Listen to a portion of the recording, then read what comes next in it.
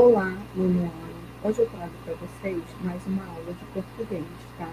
Que vai dar base para que vocês façam a prova. A matéria da nossa prova é regência nominal e regência verbal, tá? Então eu vou continuar com o exercício de regência verbal para que depois a gente possa rever esses conceitos, tá bom? Então vamos lá. Módulo 4, página 35.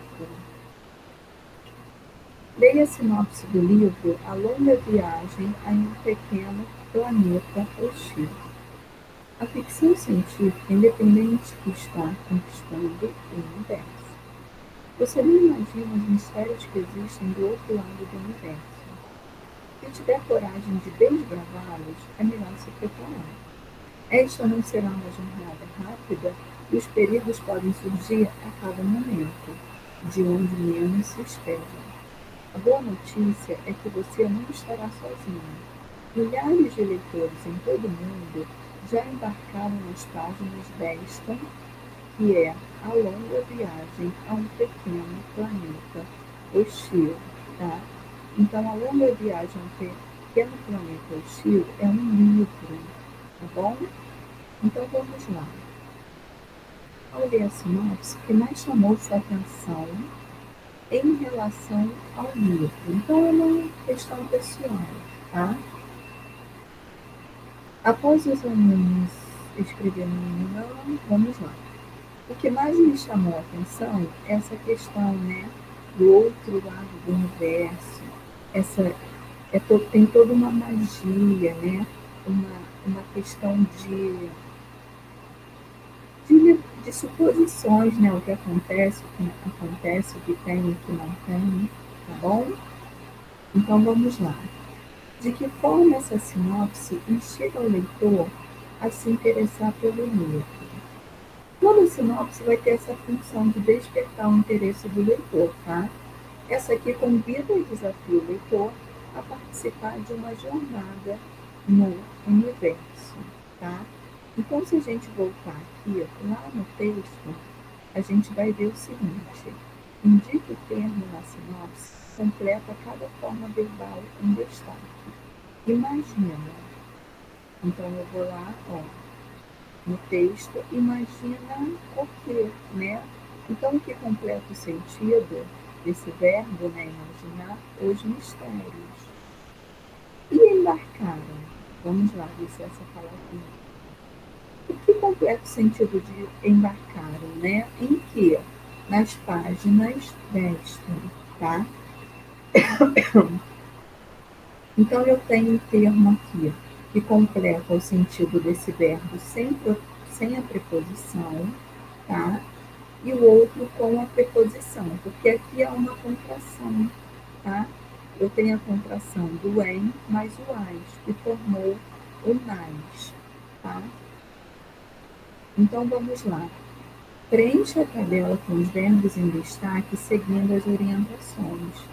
Verbo que exige complemento com preposição. Embarca. Qual é a preposição exigida? O em, tá? Verbo que pede complemento sem preposição. Como a gente viu, viu o verbo imagina, tá? Então, toda vez, vamos lá. A regência verbal, ela está ligada à questão da transitividade verbal, tá? Então, o que, que eu estou analisando? A relação do verbo com o seu complemento, né? E se esse complemento ele precisa ou não de preposição. Então, dessa forma, a transitividade verbal me ajuda muito, tá? Porque toda vez que eu ver que esse verbo é transitivo, indireto, ele vai necessitar de uma preposição, tá? Já quando ele é transitivo direto, ele não precisa dessa preposição, tá bom? Então agora a gente vai voltar lá um pouquinho para poder rever esses conceitos, tá? Então vamos lá.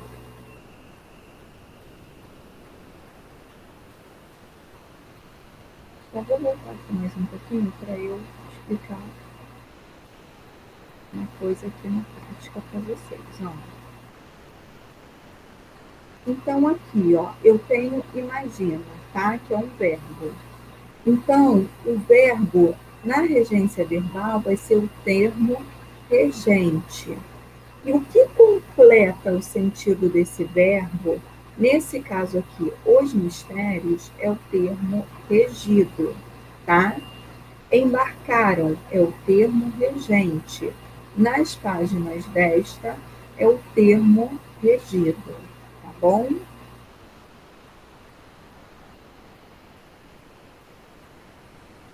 Por isso, né, que aqui, ó, na página 34, a gente está vendo essa questão ó, de transitividade, tá? Agradecer. Quando ele é transitivo direto, agradeceu o quê? Tá? Quando ele se refere a algo, agradeceu o presente. Agora, quando ele agradece a alguém, esse termo regido ele vai pedir a preposição, tá? Então, ao amigo. Ele ainda pode ser transitivo direto e indireto, tá? Quando ele se refere a alguém e algo ao mesmo tempo. Agradeceu a quem? Ao amigo. Olha a preposição aí. O que? O presente.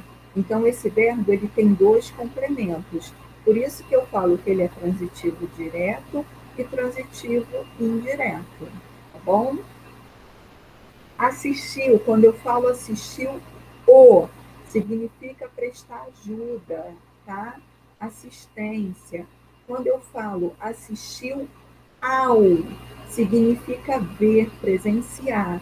Então, aqui, ó, assistiu o quê? Transitivo direto. Assistiu a quê? Ao jogo. Transitivo indireto. Lembrando que esse ao é a contração perdão, é a junção da preposição a mais o artigo o, tá bom? Chegar quando é intransitivo, que horas eles chegam, tá? Quando indica lugar, ele é intransitivo, ele não precisa de complemento. Aqui tá o show, beleza, mas não precisava, tá? Transitivo indireto, quando exige a preposição. Eles vão a algum lugar. Então, aqui, ó, ao parque esquecer, né? lembrar. São transitivos diretos quando são pronominais, quando tem um pronomezinho aqui do lado. Isto é, quando não são acompanhados de um pronome oblíquo, tá? Ele esqueceu a chave. Então, aqui ele não, não tem, né? Não tem pronome. Mas ele já é transitivo indireto quando ele tem esse pronome aqui, ó. Ela se esqueceu do compromisso. Ela esqueceu a chave. Aqui esqueceu o quê? Aqui esqueceu de quê? Olha a preposição de aí, tá bom? Preferia transitivo direto e indireto, porque ele pede dois complementos, dois complementos, tá? Então vamos lá, ó. Preferia. É muito comum a gente ver o uso do preferir com o termo do que prefiro chocolate do que morango. Mas isso é inadequado, tá? O mais adequado é eu preferir uma coisa a outra. Então, o correto seria: prefiro basquete a futebol, tá bom? Prefiro chocolate a morango, tá bom? Querer, transitivo direto. Flávia quer o que? Uma lapiseira. Então, vai expressar o sentido de desejo. Quando expressar o sentido de afeto, ó, é transitivo indireto. Queria muito bem aos pais, tá? Então, aqui, ó, preposição a mais o artigo os.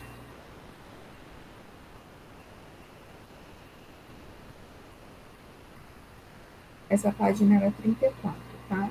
Então, foi o que eu falei, gente. A noção de regência verbal está diretamente relacionada à transitividade dos verbos, tá? Eles são intransitivos quando não precisam de complemento, eles são transitivos diretos quando os complementos não exigem preposição, transitivos indiretos quando o termo exige a preposição, tá? Então é isso. Agora a gente vai voltar lá para a regência nominal. Bom? Só um minutinho. Aqui, ó.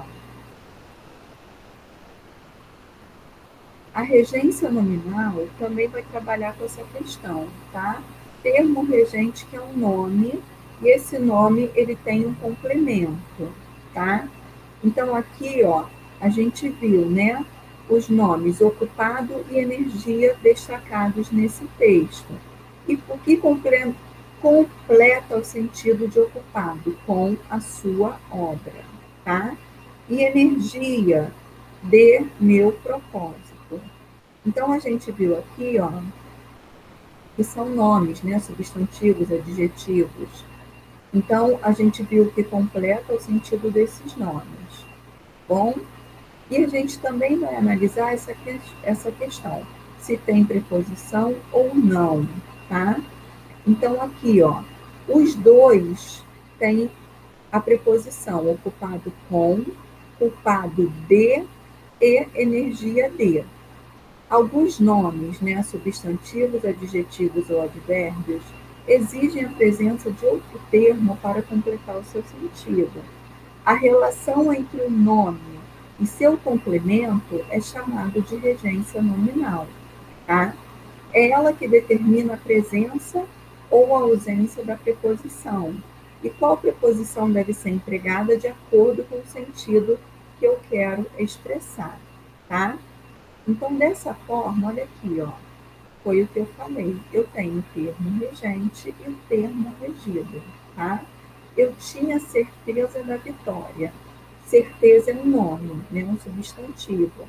Então, ele é o termo regente e da vitória completou o sentido da palavra do nome certeza. Então, eu falo que ele é um termo regido, tá bom?